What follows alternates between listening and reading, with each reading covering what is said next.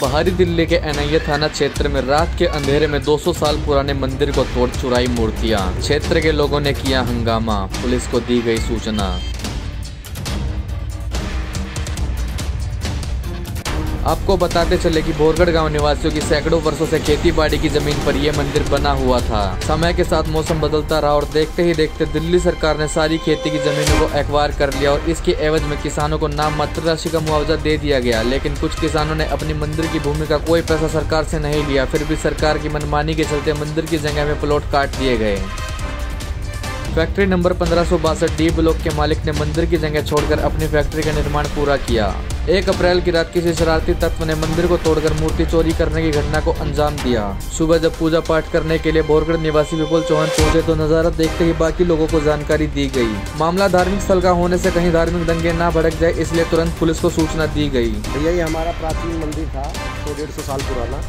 हमारे सभी ग्रामवासी, बोरगढ़ ग्राम गाँव से हूँ मैं, सभी ग्रामवासी यहाँ पे पूजा करने आते थे। और तकरीबन पूरा इंडस्ट्रियल भी यहीं पे पूजा करता था। और ये तकरीबन सौ डेढ़ सौ साल पुराना है।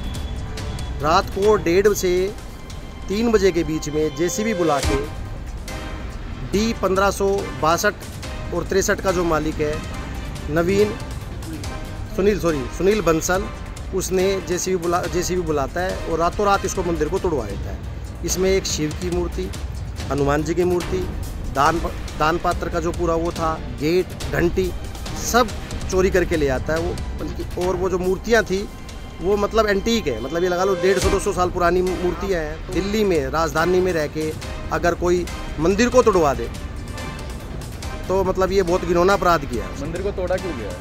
मंदिर को तोड़ा इसलिए गया कि जो फैक्ट्री उसने अभी खरीदी है उसके ये कॉर्नर पे है। डीएसआईडीसी ने भी जो नाला बनाया था इससे हटा के बनाया है। हमने इसका रेनोवेशन भी कराते रहते टाइम टू टाइम इसमें। ठीक है, शायद उसे ज़मीन का लालच था कि हाँ ये ज़मीन उसकी फैक्ट्री के कोने पे है, इसको भी अपनी फैक्ट्री के अंदर ले लेते हैं। तो मेरे हिसाब से तो लालच के कारण ही किया गया है। और हमें वो मिला था तो उससे पहले हमने ये भी कहा था, अगर आपको इसके पैसे चाहिए इस जगह के तो हम सारे ग्रामवासी पैसे इकट्ठे करके आपको ज़मीन के पैसे भी दे देंगे। लेकिन उसने रातों रात इसको सोचा कि भी हाँ रात को डेढ़ बजे तोड़वा देते हैं तो कोई कहने वाला, सुनने वाला नहीं होगा। फुटेज भी आई हमारे पास।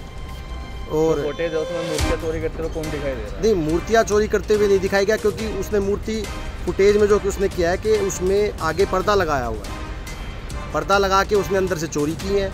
लेकिन जेसीबी चल रही है आप देखेंगे उसमें फुटेज में जेसीबी चल रही है। जेसीबी से उसने सारा तहस नहस कर दिया इसको। आपका सीधा सीधा फैक्ट्री मालिक पर है। बिल्कुल शक नहीं है मेरे पास गाड़ी नंबर भी है। गाड़ी का जो था वो गाड़ी उसमें फॉर्चूनर गाड़ी में था उसका नंबर भी है मेरे पास।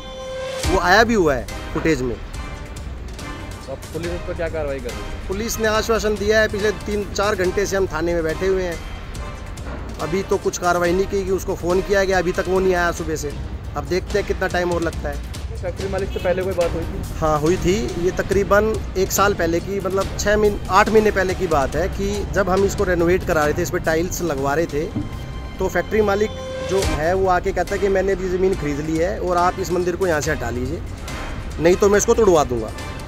तो हमने उनको ये कहा था कि आपने जब फैक्ट्री जिससे भी ली है, उस फैक्ट्री में आदमी जब कोई प्रॉपर्टी को ख़रीदता है तो उसमें ये भी होता है कि भी राइट कॉर्नर पे क्या है लेफ़्ट कॉर्नर पे क्या है, आगे क्या है, पीछे क्या है तो उसमें फैक्ट्री आपने ली है, जिससे भी ली है तो उसमें पहले भी मंदिर था, उससे पहले जो मालिक था, उसके सामने भी मंदिर था, तब ये फैक्ट्री इंडस्ट्रियल नहीं था, तब भी मंदिर था ये यहाँ पर तो हम इसको ना तोड़ सकते हैं, ना हम इसको हटा सकते हैं, हम ये कर सकते हैं, अगर आपको ज़मीन के अपने पैसे चाहिए तो हम उसके पैसे इकट्ठे गाँव वाले करके आपको पैसे दे सकते हैं। लेकिन उसके अंदर इतना लालच भरा हुआ था, उसने पीछे से रात को डेढ़ बजे काम करा दिया।